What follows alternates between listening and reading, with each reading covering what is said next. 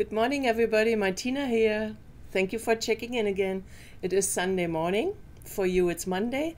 And I promised you last week I'm going to show you how I make my chickpea salad for my, uh, as a bread for my bread filling.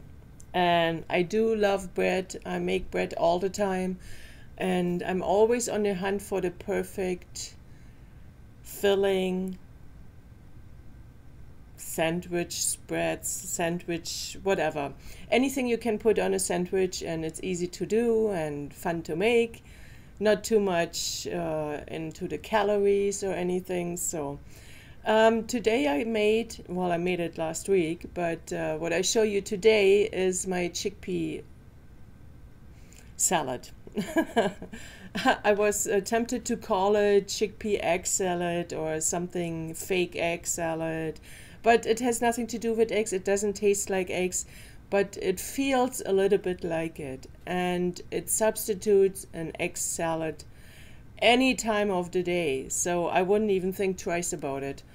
Um, it's super easy to make. If you don't have some ingredients, you just can substitute it with something else. The only thing you really need to have is cooked chickpeas and uh, your favorite pickles. I like dill pickles, and this is what I had in the fridge, and that's what I used. So, because the pickles and the pickle brine gives it such an amazing flavor, you will see in the video. So, let's just get going here. I show you what I did, and I explain as I go. So I first prepared my onions. I have one onion really fine chopped up and then I'm cutting up my dill pickles this is just what I had in the fridge and um, I use those. Use your favorite, of course, because you do need to love the brine.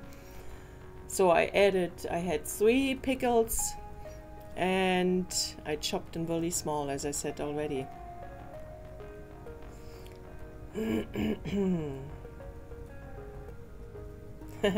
One always goes in my mouth. So I wanted to end, I wanted to add some uh, healthy fats you know, I don't use oils, so I had an avocado in my fridge and I used about three quarter of it. It was a smaller one. And here's my big can of chickpeas. I rinsed, rinsed, I drained them and I rinsed them. and I mashed about 80% of it. 80% what that means is it's not like a hummus, but it's not like really a coarse chickpea. I wanted just something in between, so which has a little bit bite to it. And I had a jar of fire roasted red bell peppers. And these bell peppers, they're not in oil, they're in water. So I put three in now and then I decided to add more later. So in the end I had five pieces of fire roasted uh, bell peppers. I cannot tell you the weight, it was a small jar. so I guess it were five smaller bell peppers. I mash up the avocado course, if you don't mind using mayonnaise, vegan mayonnaise or anything in that area, you can use that, leave out the avocado, but we don't use that very often, so I decided to use up my avocado.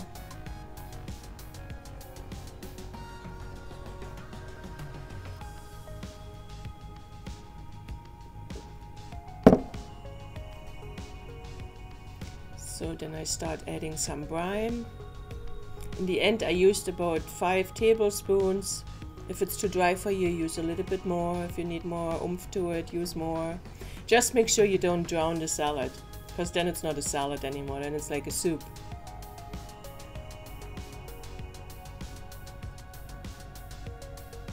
It is super cool to have those jars of uh, fire roasted bell peppers in the cupboard for emergencies or whatever because they come in so handy. Then I had some olives in the fridge. Excuse me.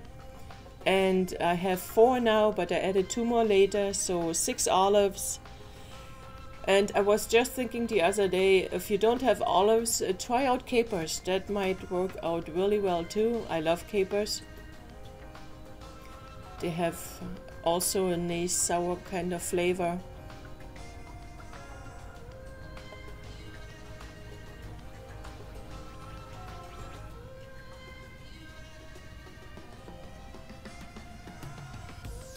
I used to make in my uh, meat eating days, I used to make a German egg dish. It was hard boiled eggs and then uh, a white creamy sauce with capers and it was a mustard sauce and that would go over mashed potatoes and the boiled eggs. I used to love that so much. So I added my spices, some uh, pepper, smoked paprika,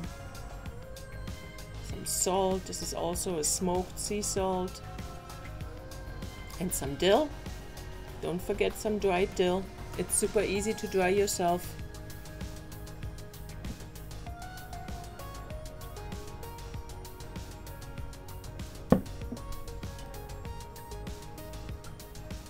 Here come two more of those peppers. because most of it you really have already in the fridge. You have a can of chickpeas in the cupboard. If not, shame on you, you need that. Um, if you have fresh bell peppers, just pop them in the oven or in your air fryer for a while. After it's blackish, take the skin off and chop them up and there you have your roasted bell peppers.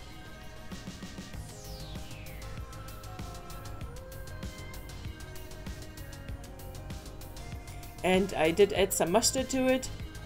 What else did I forget? And I did add some cayenne pepper to it. It needed a little bit more spice. Oh yeah, that looks really, really good. And it was really good.